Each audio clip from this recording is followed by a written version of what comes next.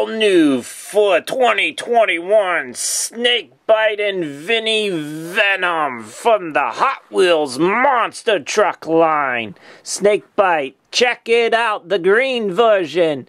Already, this is my first time ever to get truck this early before and also a truck that I really wanted to be able to get. He is in the fan favorites. He is uh, one of six. So let's check out the back. On the back of the car now, let's see the name. They have the snake bite. Then they have uh, the truck type pickup, strength, venomous, velocity, crash attack is quick strike.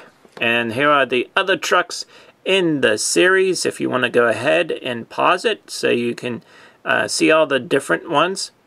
And so let's go ahead and unbox Snakebite. Real quickly, what I want to mention is two things. First of all, we get a free recrushable car, and you might have remembered these from the Monster Jam series from Hot Wheels. It looks like this one is the Rubber Crush car, and also this is a new look of the bubble, so to speak. It's in the shape of a tire, which is pretty cool, I think. Nice, uh, cool design. So let's go ahead and unbox it.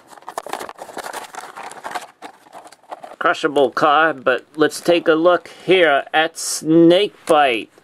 Awesome design of the new body, diecast body for this truck. We have the name of the truck, of course. Then we have uh, Monster Trucks logo, the Hot Wheels logo. There's a Summit logo as well up top of here. It's very hard to see. You can see it, but it has the name of the driver, which is really cool. We have some design of the scales on the side of the truck with also the painting of uh, the underbody of the snake of the yellow turning around. There's the eye of the snake and then there we have the fangs coming out of the front, more scale and design on the hood and the roof of the truck, Firestone. And then on the opposite side, there we have the opposite side. Same thing as the other side, but just so you get to see everything. And then on the tailgate, we have Snakebite. Awesome! Thank you, Hot Wheels, for coming out. And Bigfoot 4x4. This is awesome. I enjoy, too, how they have uh, a darker color for the wheels. Slithering in, check it out. Here is Snakebite from Hot Wheels back in 1991. So it was 29 years ago that you went 29 years ago that this was made. So check it out real quickly. Uh, you get an eye on the side for the snake.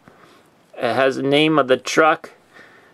Then in the front then you had this plastic tongue coming out and yes I lost the and broke the uh, tongue coming out on the opposite side so you can see nothing on the back but then right there we have snake bite with a picture of a snake. So back then what you were able to do was take off the monster truck tires and then they would reveal the travel tires. And what you were also able to do with the truck was being able to connect the tires. There you have it. So you could have eight tires or even more.